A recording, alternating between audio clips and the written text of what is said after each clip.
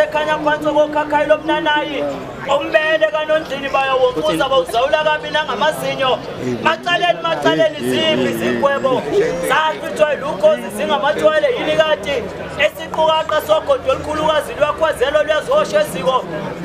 sikhuniphe nguza phantsi kwedele futhi unxantathu ubuyizinkantolo esinabalali ithunzi lomgadakawu ithushika abadala nabancane baphici imlenzana benokondisa igidigidi ntsini le